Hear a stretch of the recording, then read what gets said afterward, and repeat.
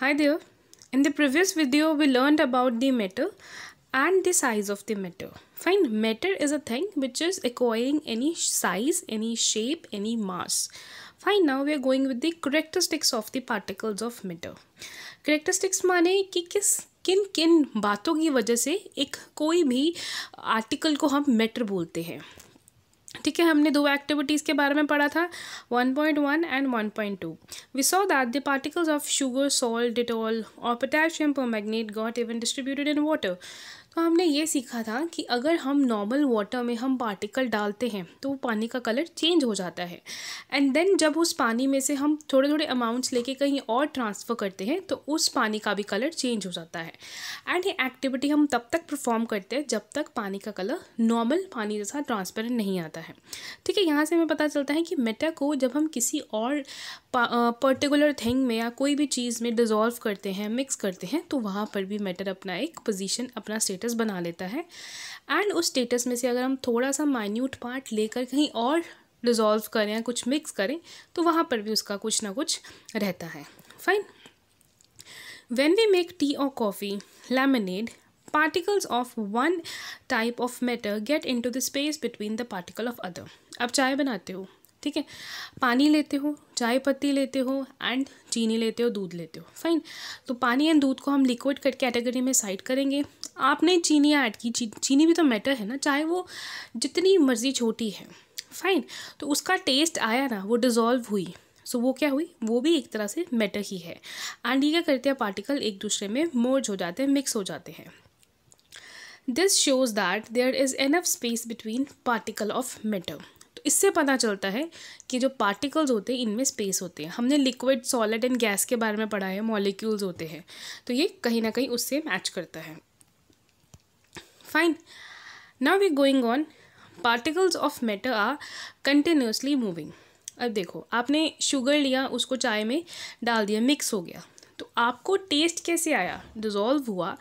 Dissolve then as well हो रहा है। कभी कभी ऐसा होता है कि चाय में हम चीनी बाद में मिक्स करते हैं, चाय के बनने के बाद में कप या गिलास में। तो some time it's happen that you are having a taste of sugar after sipping और in at the last step of the tea ये क्या हुआ? वो नीचे सेटल हो गया। कैसे? क्योंकि वो मिक्स नहीं हुआ। और हम मिक्स कैसे करते हैं मैटर को? किस तरह से चीनी को हम मिक्स करते हैं? इन अ सर्कुलर मोशन ठीक है? तो इससे हम अब ये देखेंगे कि मैटर क्या मैटर कंटिन्यूसली मूव करते रहते हैं। फाइन सो so, सबसे ईजी इसका चाय पत्ती एंड आई एम सॉरी चाय एंड चीनी वाला एक्टिविटी है।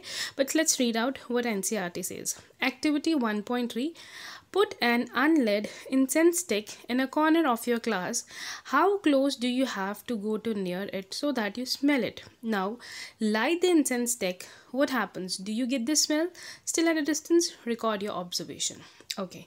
Incense stick माने अगरबत्ती आप अगरबत्ती चलाते हो ठीक है आपने अब ये देखना है कि उस अगरबत्ती की स्मेल आपको कहाँ तक मिलती है जहाँ तक आपको अगरबत्ती की फ्रेगरेंस आ रही है वहाँ तक अगरबत्ती के जो पार्टिकल्स हैं जो मेटर्स हैं वो क्या कर रहे हैं मूव कर रहे हैं now what's your second activity says take two glasses of beaker filled with water put a drop of blue or red ink slowly and carefully along the sides of the first beaker and honey in the same way in the second beaker leave the leave them undisturbed I'm sorry, leave them undisturbed in your house or in a corner in the class. Record your observation. How do you observe immediately after adding ink group? What do you observe immediately after adding a drop of honey? How many hours or days does it take for the color of ink to spread evenly throughout the water? अब second activity में क्या है कि हमने honey and ink को पानी में mix करना है जो तो हनी है वो पानी में जल्दी डिज़ोल्व नहीं होता है बिकॉज़ ऑफ़ इस कंसिस्टेंसी ठीक है? बट होता है this is not an impossible kind of thing but जो इंक है एज कंपेयर टू हनी वो जल्दी मिक्स हो जाएगी। ठीक है? सो इससे हमें पता चलता है कि हमारे जितने भी मैटर्स हैं, वो मूव करते हैं। Now let's move to the another thing okay from these three activities we concluded the following particles of matter are continuously moving that is they possess that we call the kinetic energy अब जिस energy में हमारे matter move करते हैं, उस energy को क्या कहते हैं? Kinetic energy as the temperature rises particles move faster जिस तरह से टेम्परेचर हमारा बढ़ेगा, उसी तरह से उतनी ही स्पीड से हमारे पार्टिकल्स जल्दी से मिक्स हो जाएँगे। सॉल्ट की सबसे अच्छी एग्ज़ाम्पल है। आप टू ग्लासेस लीजिए, एक में लीजिए नॉर्मल वाटर और कोल्ड वाटर एक में लीजिए आप वार्म और बॉइलिंग वाटर देखिए दोनों में आप सॉल्ट सॉल्ट डिज़ोल्व करके देखिए किसमें जल्दी होगा? डेफिनेटली वार्म में होगा। अच्छा क्यों होगा? क्योंकि वार्म टेम्परेचर में जो हमारे मेटल्स हैं, वो जल्दी ब्रेकआउट हो जाते हैं एज़ कंपेयर टू कोल्ड और normal water In the above three activities, we observe that the particles of matter intermix with their own with each other. तो जितने भी पार्टिकल्स हैं ये ये एक दूसरे की हेल्प से मिक्स हो जाते हैं They do also by getting into the space between the particles. This is intermixing of particles of two different types of matter with their own. It's called diffusion. जब कोई matter किसी और चीज़ में mix हो जाता है, जैसे कि हमने पानी में चीनी को मिक्स किया तो उस प्रोसेस को हम क्या बोलेंगे? Diffusion we also observe that on heating diffusion becomes faster why does this happen because of the temperature ठीक है? अब डिफ्यूजन क्या होता है? कि जब हम अपना मैटर किसी और पार्टिकल में या किसी और मेटल में मिक्स कर लेते हैं, उसे बोलते हैं डिफ्यूजन डिफ्यूजन टेम्परेचर पे डिपेंड करता है। अगर तो कोल्ड टेम्परेचर है तो डिफ्यूजन बहुत ज़्यादा स्लो होगी। ठीक है कोल्ड कॉफ़ी की बात करते हैं। अगर आप क्रिस्टलाइज चीनी लेते हैं नॉट द पाउडर वन उसको मिक्स करना like it is like a big deal बहुत टाइम लग जाता है उसको कोल्ड कॉफ़ी में चीनी को मिक्स करने के लिए। But as compare to cold coffee hot coffee में या टी में बहुत जल्दी चीनी मिक्स होती है। क्यों? Because of the temperature temperature में क्या होता है? जो मेटर होता है, वो ब्रेक डाउन होता है, टूटता है। ठीक है? वो एज़ यू ऑल नो कि हायर टेम्परेचर में ब्रेक डाउन बहुत जल्दी होगा। स्टेट्स ऑफ़ मैटर ठीक है? मैटर की स्टेट्स कौन सी होती है? तीन स्टेट्स होती हैं। Solid liquid and gas. Solid matter को सोचो जिसमें आप किसी चीज़ को डिज़ोल्व कर सकते हो। थिंक इज़ इट पॉसिबल कि आप किसी भी सॉलिड मैटर में कोई और मैटर मिक्स कर लीजिए? नहीं, वो पॉसिबल नहीं है। क्यों नहीं है? सी है so this is this solid fine this is the solid matter आप इसका मेकिंग देखो। हमारे जितने भी पार्टिकल्स हैं, वो बहुत ही ज़्यादा पास पास में ब्रिक्ड हुए हुए हैं, ठीक है ना? क्योंकि इन पार्टिकल्स में बिल्कुल भी क्या नहीं है? स्पेस नहीं है। सी यहाँ पर हमें कोई स्पेस दिख रहे इसीलिए हम इसे सॉलिड बुलाते हैं, ठीक है? बट जो लिक्विड है, हमने जैसे चाय, वो पानी की, पानी में इंक डिज़ोल्व की थी, चाय में चीनी की थी तो इसमें हमारे लिक्विड में क्यों मैटर जल्दी डिज़ोल्व हो जाते हैं? बिकॉज़ यहाँ पर स्पेस ज़्यादा है। ठीक है? अब अगर हम बोलें कि हम लिक्विडिक चीज़ में अगर हमने कोई फ्रेगरेंस देखनी है, ठीक है? लेट्स है कि आपने चॉकलेट शेक बनाया है। चॉकलेट शेक की जो फ्रेगरेंस है स्मेल है वो ज़्यादा दूर तक नहीं जाएगी। क्यों नहीं जाएगी? बिकॉज़ इसमें स्पेस इतनी ज़्यादा नहीं है। बट हम अगर इंसेंस स्टिक चलाते हैं एंड वहाँ हम देखते हैं कि उसकी जो फ्रेगरेंस है वो काफ़ी दूर तक जाती है। अगर बत्ती या धूप चलाते हैं तो उसकी जो फ्रेगरेंस होती है बड़ी जल्दी जाती है एंड बहुत दूर तक जाती है। लाइक like, मेरे घर से I guess I will say fifty fifty steps मंदिर दूर है बट जब भी सुबह सुबह पूजा होती है तो मुझे वहाँ से धूप की स्मेल धूप की फ्रेगरेंस आती है। क्यों आती है? बिकॉज़ देखिए स्पेस देखिए कितनी ज़्यादा है, ठीक है? जितने ये मॉलिक्यूल्स ज़्यादा होंगे तो हमारे मैटर क्या होगा? सॉलिड होगा। जितना, थोड़ा सा अगर कम हो गया तो क्या बन जाएगा? लिक्विड एंड बहुत ही ज़्यादा कम हो गया तो क्या बनेगा? गैस एंड जितना हमारा मैटर कोल्ड होगा, उतना वो रहेगा सॉलिड नॉर्मल पे लिक्विड रहेगा एंड हॉट पे क्या बन जाएगा? गैस ठीक है? गैस यानी कि पानी इवेपोरेट हो जाएगा. ठीक है? एंड जितनी भी गैसियस चीज़ें होती हैं, उसमें हमारे मैटर ज़्यादा फास्टली ट्रेवल करते हैं. Next point is particles of matter attract each other क्योंकि ये जो मैटर है, ये एक दूसरे से रिलेटेड है. तो इस एक पार्टिकल दूसरे पार्टिकल को अट्रैक्ट ज़रूर ही करेगा। ठीक है एक्टिविटी क्या है? Play this game in the field make four groups and form human chain as suggested the first group should hold each hold each other from the back and lock arm like BU dancers. ठीक है? And if consider each student as practical of uh, यानी उनको पीछे से पकड़ लेना and you have to move आपने ये देखना कि कितनी देर तक आप मूव करते हो। तो इस तरह से प्रैक्टिकल सॉरी इस तरह से मेटर्स की जो चेन होती है, वो मूव करती है। ना वो नेक्स्ट एक्टिविटी से take an iron nail a piece of chalk and a rubber band try breaking them by hammering or cutting or scratching in which of the above three substances do you think the particles are held together with a greater force तो जैसे मैंने अभी आपको बताया था कि colder temperature में हमारा जो मेटर होगा, वो क्या होगा? सॉलिड होगा। अब जितनी भी चीज़ें हम अपने आसपास इस वक्त देख रहे हैं, वो सब सॉलिड है।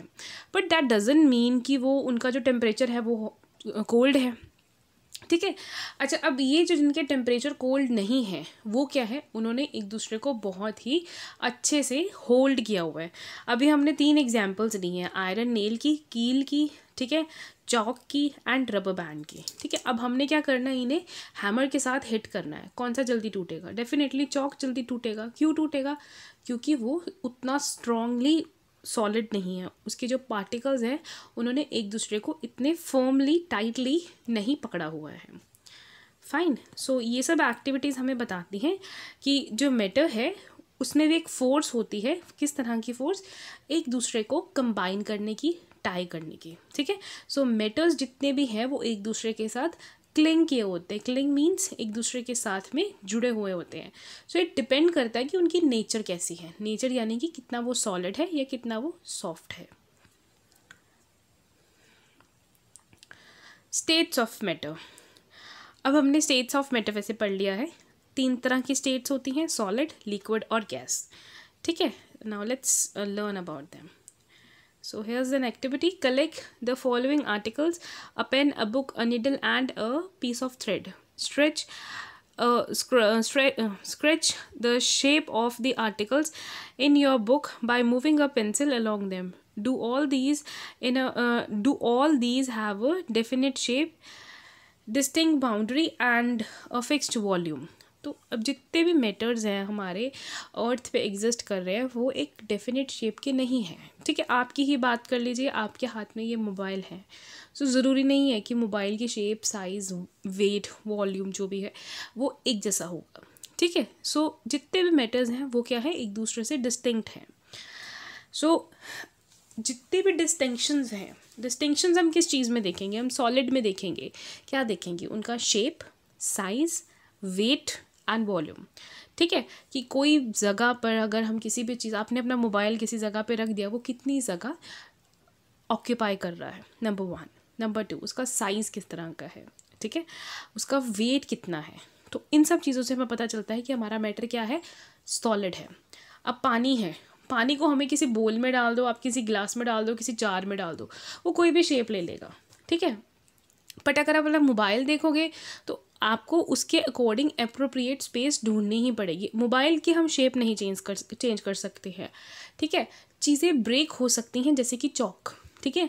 आइस ब्रेक करके हम उनकी शेप चेंज कर सकते हैं, उनका वॉल्यूम चेंज कर सकते हैं, उनका साइज़ चेंज कर सकते हैं। बट कुछ चीज़ें ऐसी अर्थ पे हैं, जिनको हम ब्रेक कर तो सकते हैं बट किए बिना लाइक अगर हम उनको ब्रेक कर देंगे तो हमारा काम नहीं होगा, जैसे कि आपका मोबाइल ठीक है? ओके सो हम किन चीज़ों से पता लगता है हमें कि सॉलिड है? उसकी शेप के size volume and weight so इन हम तीन चार चीज़ों से पता चलता है कि हमारा जो मैटर है वो सॉलिड है या नहीं है। अगर तो हमने ये देखना है कि वो लिक्विड है लिक्विड तो हम उसकी कंसिस्टेंसी दे, देख लेंगे कि कैसा लिक्विड है। लिक्विड में भी वेरिएशंस आती हैं कि ज़्यादा वो फ्लोइंग कंसिस्टेंसी में है या हार्ड कंसिस्टेंसी में है। ठीक है? Gas you all know so now we are moving on Solids. A rubber band changes shape, under force, and regain the shape when the force is removed or excessive force is applied, it breaks. So rubber band है। वही मैंने अब आपको बोला ना कि हम उसे ब्रेक कर सकते हैं। जैसे कि रबर बैंड लीजिए आप। आप उसको जितना स्ट्रेच कर सकते हो, कर लो। उसकी क्या हो जाएगी?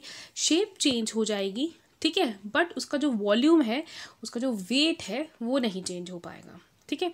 अल्टीमेटली क्या होगा? वो ब्रेक हो जाएगा। क्यों? एक्सेसिव फोर्स लग गया है। The shape of each individual, sugar or salt crystal remain fixed, whether we take it take it in our hand or put in a plate or in.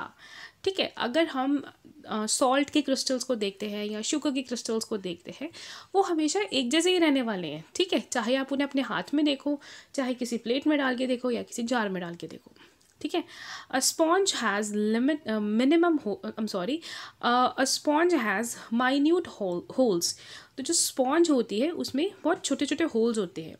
उससे क्या होता है? उसमें एयर ट्रैप कर जाती है। जब हम इसे स्क्वीज़ करते हैं प्रेस कर देते हैं। तो जैसे ही एयर बात बाहर निकलती है उसे क्या मिल जाता है? एक कंप्रेशन मिल जाता है। अब इसका एग्ज़ाम्पल पानी में है।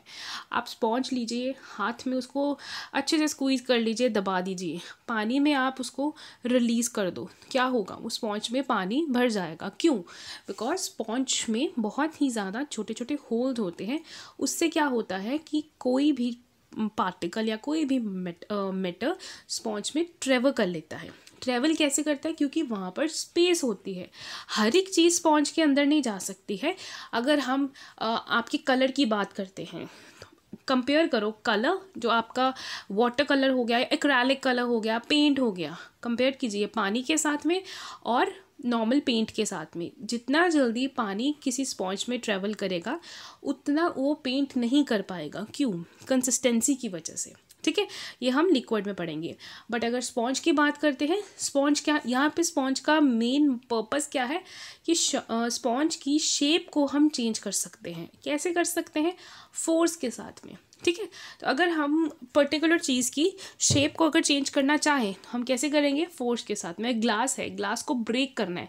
नीचे गिराएँगे ना, तोड़ेंगे ना उसको तो वो क्या तो तोड़ना क्या हुआ? फोर्स हो गया। ठीक है? बट काफ़ी सारी हमारी सॉलिड चीज़ें होती हैं जिनका हम शेप चेंज नहीं कर सकते हैं। ना coming to the liquid state so liquid you all know liquid की कोई भी फिक्स शेप नहीं होती बट उसका वॉल्यूम होता है। सॉलिड को हम कैसे वे करते हैं? हम इंडिया में हम ग्राम्स एंड किलोग्राम्स में करते हैं, ठीक है? पर लिक्विड को कैसे करते हैं? एमएल यानी कि मिलीलीटर और लीटर में करते हैं। इंडिया के बाहर किसमें करते हैं पानी को? वे आउंसेस में करते हैं। आउंसेस क्या होता है? पॉइंट ज़ीरो टू एम ठीक है? ओके एंड सॉलिड को बाहर, यानी इंडिया से बाहर कैसे वे करते हैं? पाउंड्स में करते हैं, ठीक है? चलिए। So we are learning the things according to Indian units. We observe that liquid has no fixed shape but has a fixed volume. They take the shape of container in which they are kept. Liquid flow and change shape so they are not rigid but they can't but they called fluid.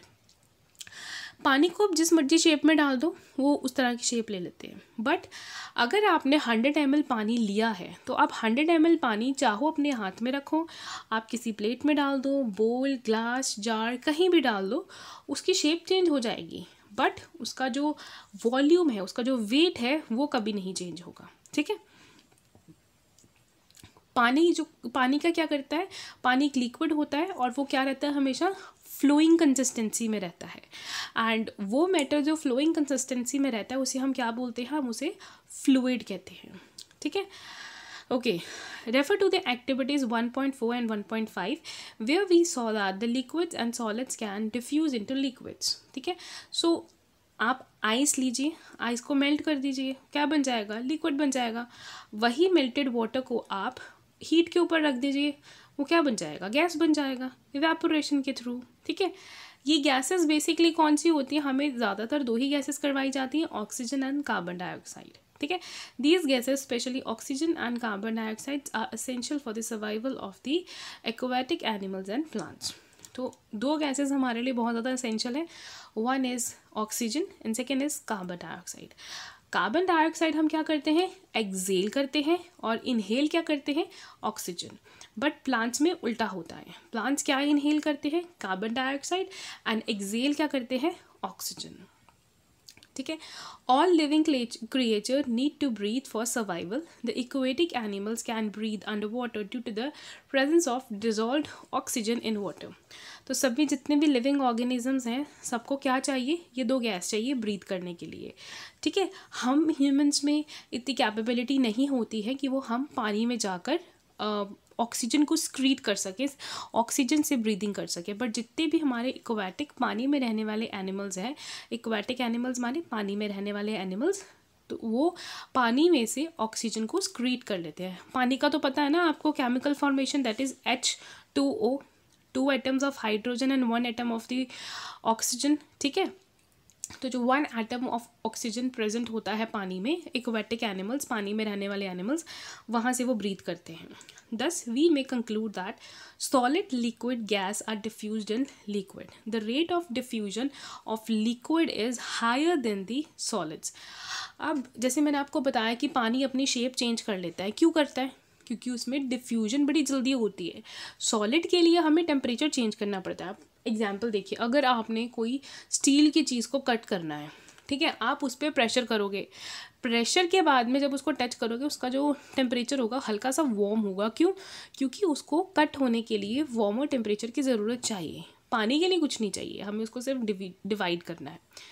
This is due to the fact that liquid state particles move freely and have greater space between each other as compared to the particles in the solid state. तो अभी हमने particles पढ़े ही हैं। Third is gaseous state, gas state. ठीक है how uh, have you ever observed a balloon seller filling a large number of balloons from a single cylinder of gas? Inquire from him how many balloons is he able to fill from one cylinder.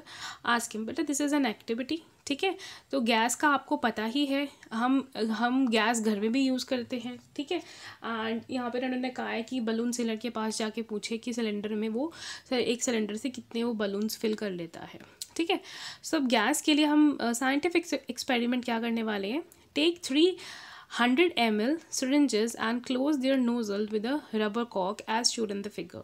Remove the piston of the syringes, leave one syringe untouched, fill the water in the second syringe and a piece of chalk in the third. Insert the piston back into the three syringes. How uh, you may apply some Vaseline on the pistons before inserting them into the syringes for their smooth movement. Now try to compress the content by pushing the piston in each syringe. ठीक है? तो यहाँ पे syringe लीजिए आप। I am really very sorry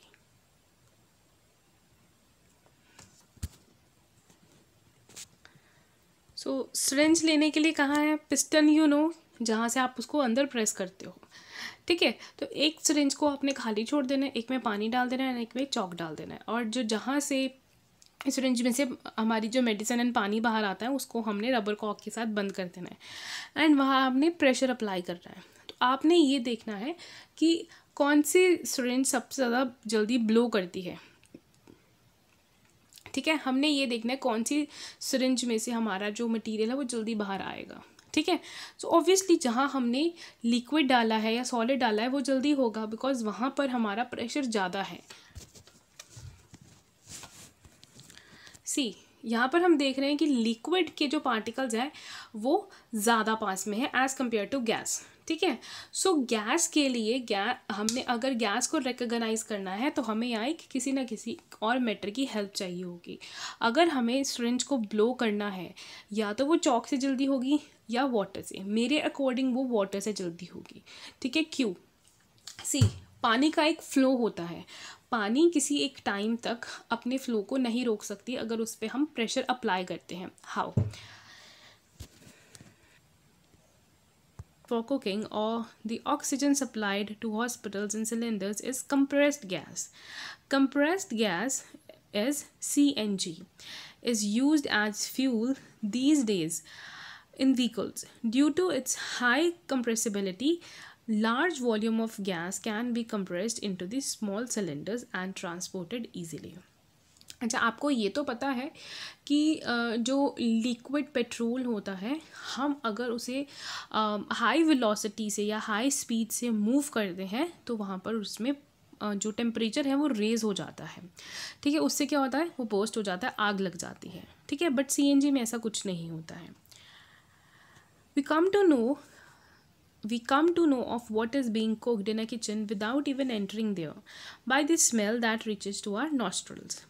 how does these smell reaches to us the particles of aroma of food mixed with the particles of air spread from the kitchen reaches us and even father away अभी मैंने आपको example दी कि मेरे घर के पास थोड़ी ही दूरी पे like it is like two hundred meters away मंदिर है जब भी सुबह मंदिर में पूजा होती है, इतनी दूर है मंदिर बट देन एज वेल मुझे फ्रेगरेंस आ जाती है धूप की या लाइक इन स्टिक की। कैसे? कैसे आती है? क्योंकि जो पार्टिकल्स हैं, वो एयर में या गैस में मिक्स हो जाते हैं एंड आगे क्या होते हैं? सर्कुलेट होते हैं एंड वैसे ही हमारी किचन में होता है। The smell of hot cooked food reaches us in seconds as compare to the rate of fusion of solid and liquid ठीक है, जो खाना अभी बना है या बन रहा है, उसकी फ्रेगरेंस बड़ी जल्दी आती है। घर में घी बनता है, देसी घी बनता है। How we people run away why ठीक है ना? घी तो सबके घर में ही होता है।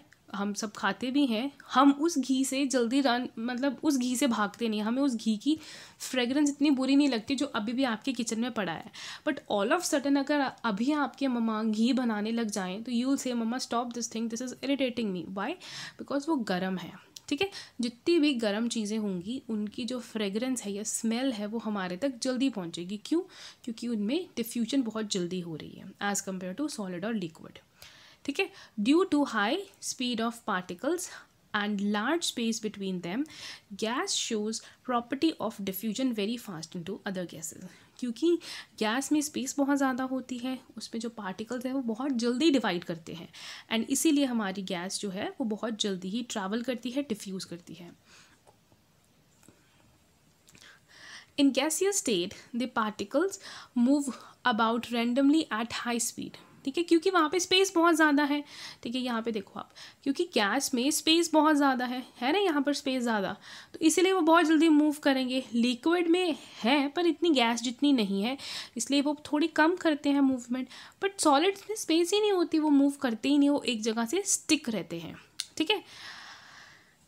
The particle move about randomly at a high speed Due to this random movement, the particles hit each other and also the walls of the container. The pressure extended exerted by the gas because of the force of exerted by gas particles per unit area on the wall of the container हमें किसी particular चीज़ की fragrance क्यों आती है क्योंकि gas में movement बहुत ज़्यादा होती है ठीक है एंड मूव करते करते वो एक दूसरे से हिट करते हैं एंड आगे से आगे ट्रैवल करते हैं fine so this is all about for today. I hope you've understood what is uh, the states of matter or how they are moving uh, are they having force or not. And if you have any sort of problem please do message me. Thank you so much